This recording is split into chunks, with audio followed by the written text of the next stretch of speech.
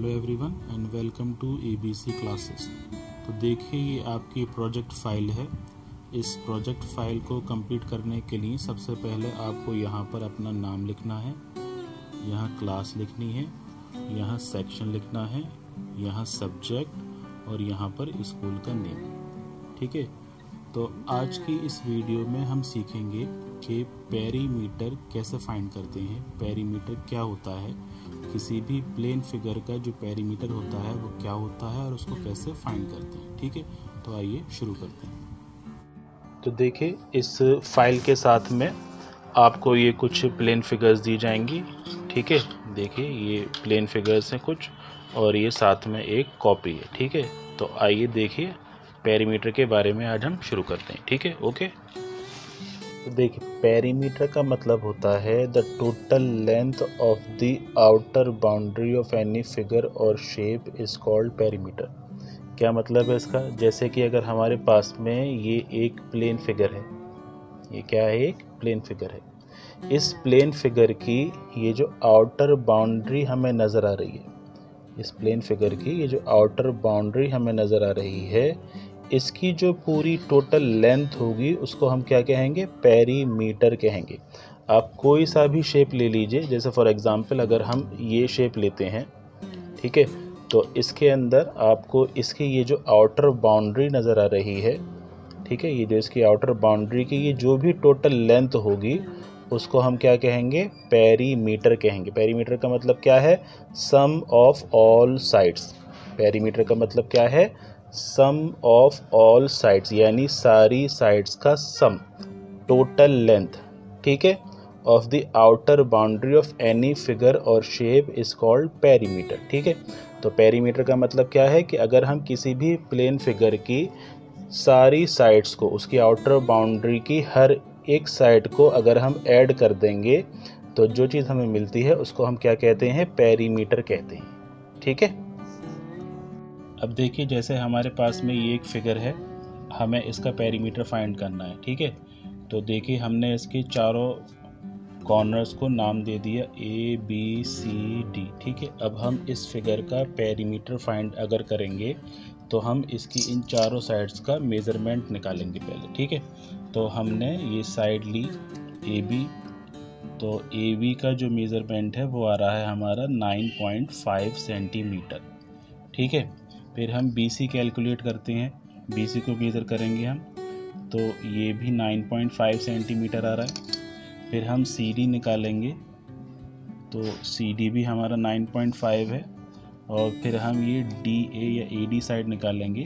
तो ये भी हमारी 9.5 सेंटीमीटर आ रही है। ठीक है? तो इस फिगर की चारों साइड 9.5 सेंटीमीटर की आ रही हैं। तो इसका पेरीमीटर निकालने के लिए हमें इन चारों साइड्स को प्लस करना है। ठीक है? तो देखिए ए बी हमारा कितना आया? 9.5 सेंटीमीटर। बी सी भी कितना आया? 9.5 सेंटीमीटर। सी डी भी कितना आया? 9.5 सेंटीमीटर। और डी ए भी कितना आया? 9.5 सेंटीमीटर। ठीक है? तो पेरीमीटर पता करने के लिए हमें क्या करना पड़ेगा? इनकी चारों साइड्स को प्लस करना। यानी कि जो चारों साइड हमारी निकल कर आई हैं, इनको हम क्या कर देंगे? ऐड कर देंगे। तो ए बी की लेंथ हमारी कितनी आई है? 9.5 बी सी भी कितना आया? 9.5 प्लस 9.5 प्लस 9.5 ठीक है? तो इन चारों को जब हम प्लस कर लेंगे तो हमारा पेरीमीटर आ जाएगा 38 सेंटीमीटर ठीक है? अब देखिए, इसके अलावा जैसे अगर हम कोई और प्लेन फिगर ले लें, जैसे अगर हमने ये एक प्लेन फिगर ले ली, ठीक है? तो आपको करना यह क्या है फ़ाइल के अंदर? आपको इस प्लेन फिगर को लेफ़्ट हैंड साइड पर इस तरह से पेस्ट करना है और राइट हैंड साइड पे उसका मेज़रमेंट लिखना है और उसका पैरीमीटर फाइंड करना है, ठीक है? लेफ़्ट हैंड साइड पर आपको इस फिगर को पेस्ट करना है और राइट हैंड साइड के ऊपर इसका मेज़रमेंट लिखना है और इसके सारी साइड्स को प्लस करके उसका पैरीमीटर फाइंड करना है, ठीक है? एक और एग्जांपल लेते हैं। तो देखिए। जैसे हमने ये एक प्लेन फिगर ली, इसकी साइड्स को भी हमने नाम दे रखा है ए बी सी डी ठीक है? तो इसके हम मेज़रमेंट करेंगे। तो देखिए, ये ए बी हमारी आ रही है 3.5 सेंटीमीटर ठीक है? तो हम यहाँ पे लिख लेंगे। ए बी हमारा कितना आ गया? 3.5 सेंटीमीटर ठीक है? फिर हम इसका बी सी का मेज़रमेंट करेंगे। ये आ रहा है हमारा 5.5 तो बी सी आ गया हमारा 5.5 सेंटीमीटर ठीक है? फिर हम निकालेंगे सी डी तो देखिए सी डी की लेंथ आ रही है हमारी 3.5 सेंटीमीटर और फिर हम निकालेंगे ए डी तो ए डी की लेंथ आ रही है हमारी 5.5 सेंटीमीटर ठीक है, अब हम इन सबको प्लस कर देंगे तो ए बी की जगह पर लिखेंगे 3.5 बी सी की जगह पर 5.5 सी डी की जगह पर 3.5 और ए डी की जगह पर 5.5 ठीक है तो इन सबको अब हम प्लस कर देंगे।